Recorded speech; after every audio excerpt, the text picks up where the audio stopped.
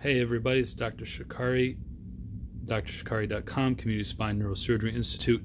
This is the new endoscopic device we are using. This is called the joimax endoscope. I don't have any affiliation with this company except that I've utilized their technique and their endoscope. So no financial interest in the company.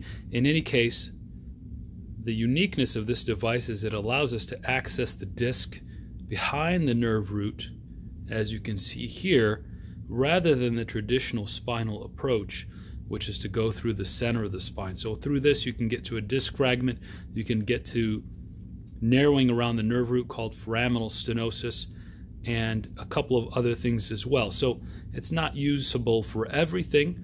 It's not always preferred over more traditional methods, but you can see we can avoid going through a whole lot of other important structures if we can access the disc through that little opening in the neural foramen.